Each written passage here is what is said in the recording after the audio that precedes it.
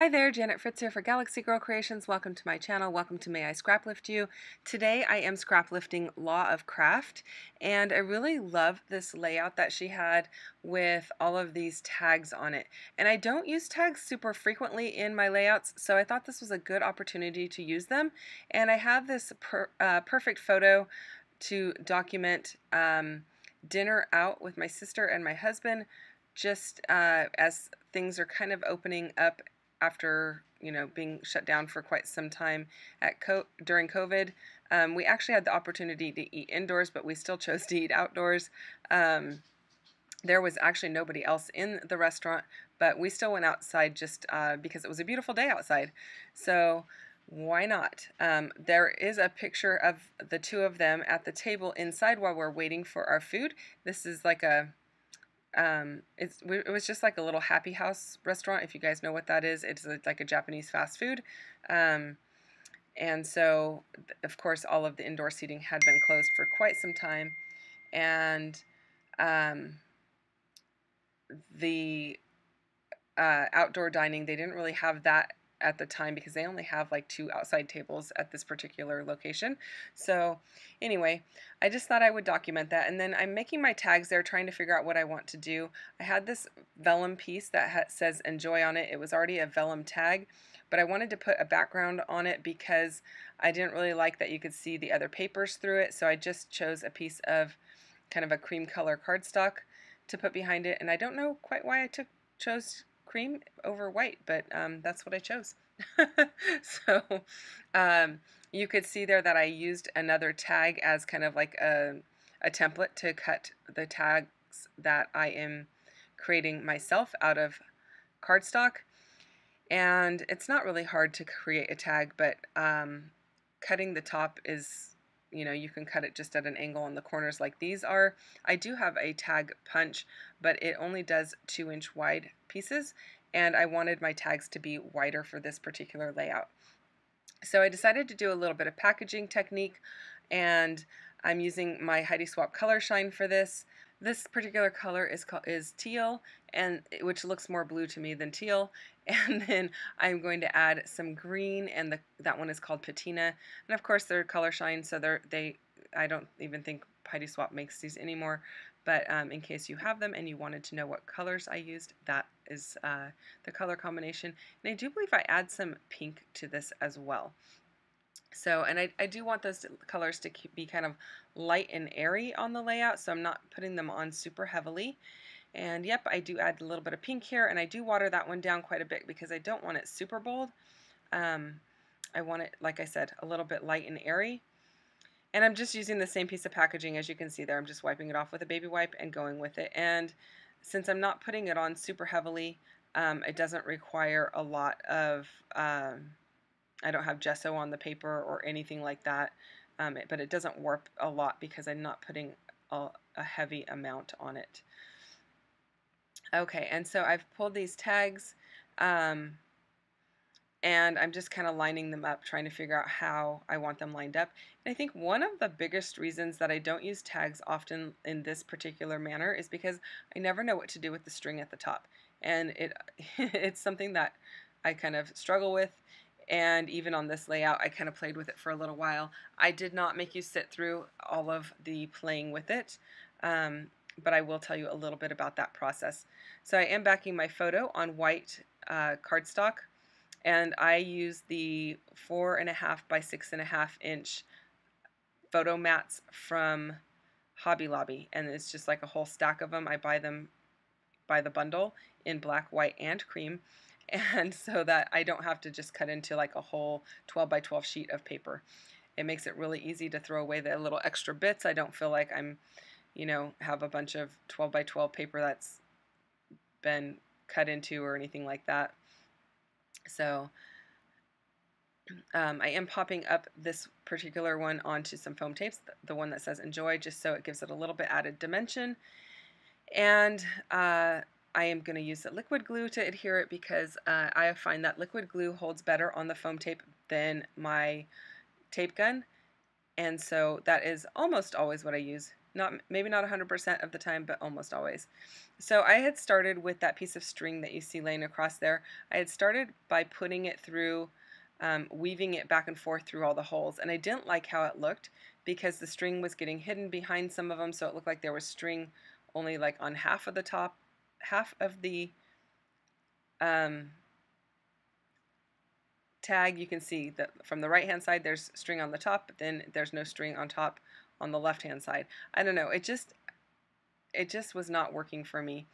Um, I tried just weaving them through. I tried just weaving it through and going around the top and back through. Um, so this time what I did was I did it like I would do a tag. I put, you know, the loop through and then pulled both strings through the front and then I took one to the right and one to the left and I used these little clips that I had versus trying to weave it through the holes. And I liked how that looked a lot better. So um, that kind of solved the problem. It looks like they're kind of hanging from a clothesline instead of uh, instead of like that like they're strung through the holes, which I like this a lot better for some reason. And um, the piece that says enjoy, I just went through the piece of uh, string that is already on that particular tag. I did not like take that off obviously and put a little clip there. I just thought that one was okay hung that way and it looks fine to me. I did tie a knot in each end of that um, the string so I like that it gives a little added texture with that little knot there.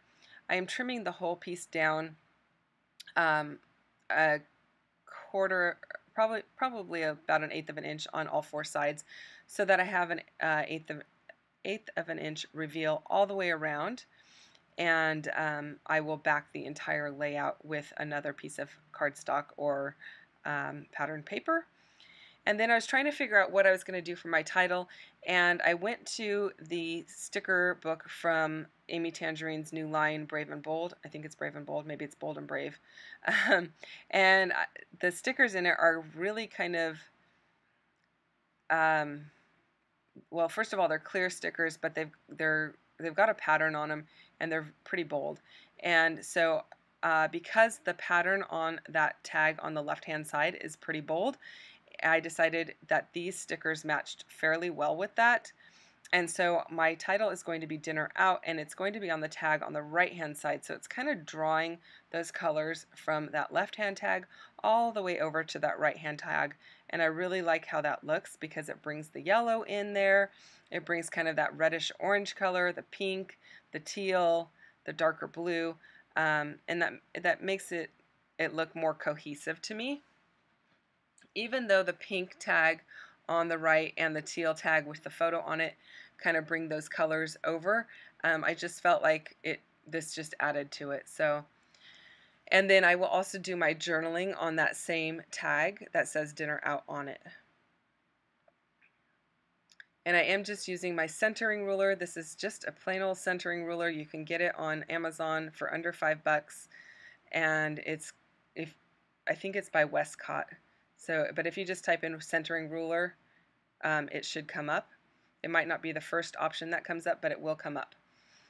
There's my journaling added to it. I did add a, um, a sticker to the side of that teal tag, and it just says love on it. And then the one up in the upper left-hand corner says snapshots of our life, and I thought that was appropriate because it really is just a snapshot of what we did at the, uh, on that particular day. Um, my sister is not in town that often, so um, it, it's always nice to be able to spend time with her. And it was kind of a weird week because we had uh, my mom had been in the hospital. She and my sister extended her stay. Um, we had two deaths in our family. It was just kind of like a really wild ride for the week. So it was kind of nice just to be able to go out and enjoy just a quick meal with her. Um, so I I did finally break into uh, my stickers from the Buenos Dias package. I don't have a lot of that collection, but I do have the sticker sheet, and I really like this piece that said perfect on it. I'm popping that up onto some foam, and I'm going to put that on top of that really colorful tag, and I thought it was perfect because it, um, well, actually it says perfect on it, but uh, I like the two different colored pinks on it, which really just tied into that tag perfectly. Funny that I'm using the word perfect so much right now when I'm sticking the word perfect down. Um, I do decide to add some foam tape to this sticker up at the top and I like how that looks. And I am going to add a little bit more up in that area. Um, but I'm going to, uh, here I'm going to just back my entire layout on black cardstock. This is very typical of me. I really like having a frame around a layout that has a white cardstock background, even if there's mixed media. I just think the frame kind of brings everything together. Um, I, and then I added that navy blue sticker that says these are the days and I thought that was perfect because this um, the tag that's really colorful has some navy blue on it and then the um, title has some baby uh, baby blue navy blue alphas in it and then the one that is right above the photo says risk taker and I thought that's perfect because um, you know it's one of those first times you go out to eat after everything being closed up or going anywhere for the first time after everything being closed up you feel like you're really kind of taking a risk. At least we did. Um, and so then I just used this sticker a sticker. It's a stamp by art by art by Marlene from Studio Light and it's like a little scribbly kind of a stamp and I'm using the Jun Juniper Mist um, ink from Catherine Pooler. I believe that's Juniper Mist. Actually, it might not be. It might be the teal color. Yep, it's teal. Um, and I don't know the name of it off the top of my head. And then I added those gold hearts to bring in more gold, like it, like where it says enjoy. And then I'm adding in a little bit more um, gold and navy blue by adding this washi tape. So there's a bunch of people playing along today over um, with Crystal Barrett and Pineapple Papers. She started this series. There's a bunch of people listed in my description box. You can check out all their links below and go and give them a bit of love. And if you have any questions or comments, you can leave those down below for me as well. Um, I will get back to you as quickly as I can. And I really appreciate you guys taking the time to watch my video and spend time with me today. Um, if you don't mind hitting the like button, I'd really appreciate it. And if you're not subscribed, hit the subscribe button. And if you are, thank you for subscribing and choosing my channel. I will see you guys again tomorrow. Bye-bye.